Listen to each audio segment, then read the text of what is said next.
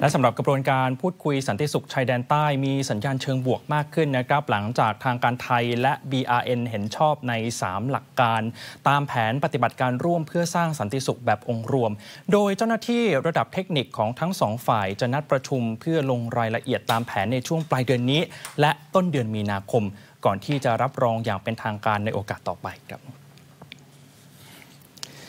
การลดความรุนแรง การปรึกษาหารือกับประชาชน และการแสวงหาทางออกทางการเมือง เป็น 3 หลักการในแผนปฏิบัติการร่วมเพื่อสร้างสันติสุขแบบองค์รวม หรือ JCPP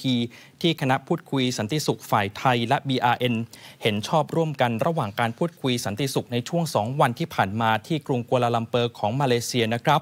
และจะมีการหารือในรายละเอียดระหว่างเจ้าหน้าที่ระดับเทคนิคร่วมกันอีก 2 ครั้ง คือในช่วงปลายเดือนกุมภาพันธ์และต้นเดือนมีนาคม ก่อนที่จะรับรองอย่างเป็นทางการในลำดับต่อไป ซึ่งจะนำไปสู่การบรรลุข้อตกลงสันติสุขด้วย นายฉัดชัยบางชวดหัวหน้าคณะพูดคุยสันติสุขฝ่ายไทย พอใจกับความก้าวหน้าในการพูดคุยครั้งนี้ โดยหลังจากนี้เจ้าหน้าที่ระดับเทคนิคจะไปหาเรือร่วมกันในรายละเอียดปลีกย่อย เช่น การลดความรุนแรงในพื้นที่ทั้งสองฝ่าย ต้องไปจัดทำข้อเสนอแนะ การปรึกษาหารือกับประชาชนที่ต้องเปิดเวทีให้มากที่สุด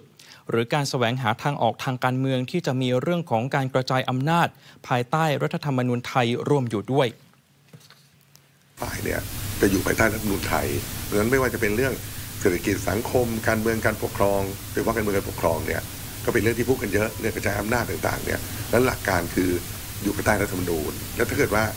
ลองไปดูรัฐธรรมนูญดีๆเนี่ยรัฐธรรมนูญก็เปิดช่องไว้ในการพิจารณาเรื่องกระจายอำนาจนี่ก็เป็นเรื่องในระบบอยู่แล้วที่สามารถ พิจารณาได้ตามความเหมาะสมนะครับ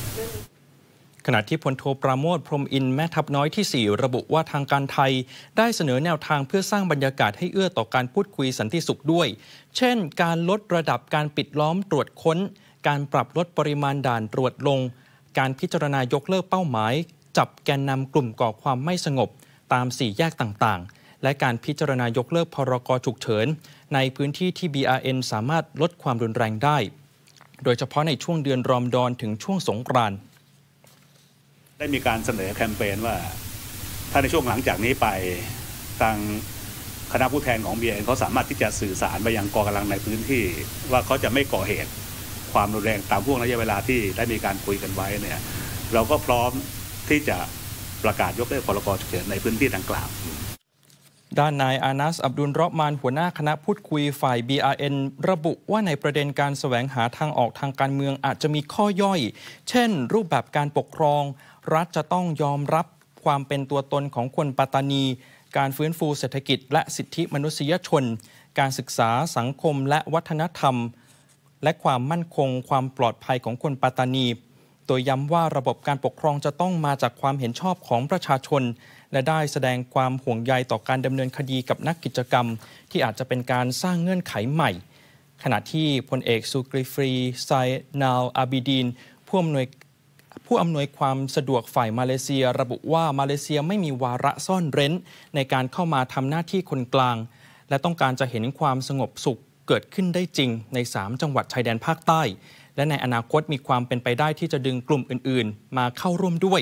ซึ่งจะต้องหารือร่วมกับทาง BRN ที่เป็นกลุ่มหลักอีกครั้ง ขณะที่ฝ่ายไทยก็ไม่ขัดข้องในเรื่องนี้ครับ